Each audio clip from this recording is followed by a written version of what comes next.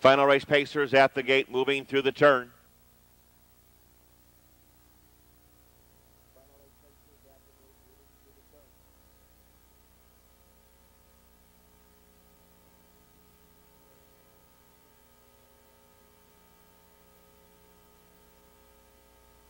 Field for tonight's 10th and final race at the gate and moving up. Field is now in motion. And there they go. They're often pacing. Baker's Legacy between horses takes the lead. Barron's Carrier is up on the outside. On the far outside, there goes Max Prince to third. Next in line, Hornblower to fourth. Around the top turn, AP King looking for a seat. Tucson Guy got it. After that comes Jack Lee Gino. Midway on the turn, Sitting Bull is eighth. Racing ninth, Senior Sam, tenth on the outside. Shadwell as they move by the opening quarter in.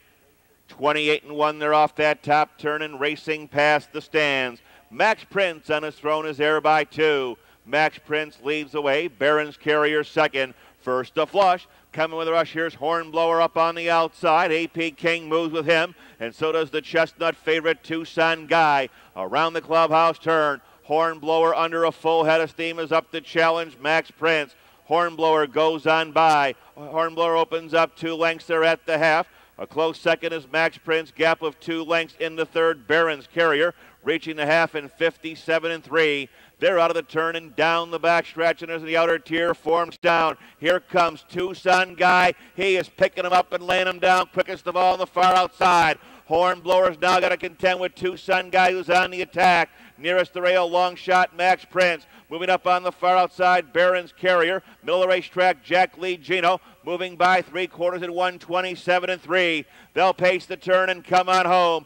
Dan Ater opens up a commanding lead with his mount Hornblower. Hornblower by five. Tucson guy on the outside second. Max Prince is third. Baker's Legacy closing down the middle of the racetrack. Here's a rocking chair drive. Hornblower is all alone to fight for minor shares. Hornblower on top by 10. Here comes Baker's Legacy up on the outside second.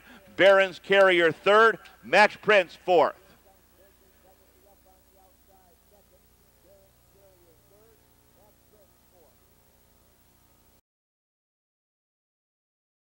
Here in 156 and 4. Three, Baker's Legacy was second. Number five, Barron's Carrier was third. And six, Max Prince was fourth.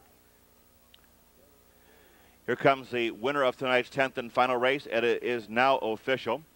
Number one, Hornblower, a six-year-old bay gelding by Seahawk Hanover out of Neat and Tidy.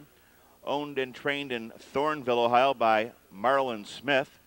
Catch driven tonight by Dan Ater. Covering the mountain 156 and 4 and a lifetime best. Number one, Hornblower, the winner of tonight's 10th and final race.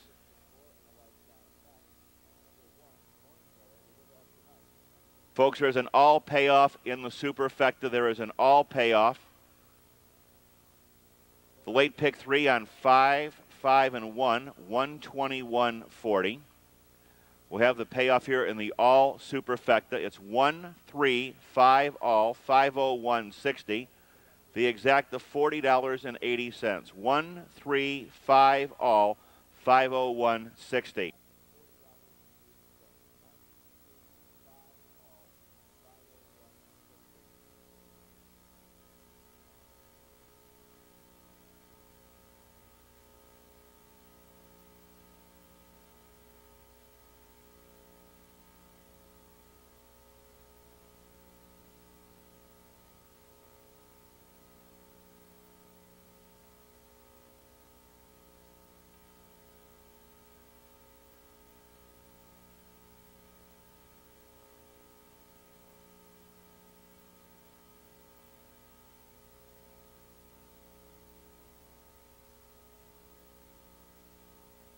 Tap down 10th and final Hornblower, the winner.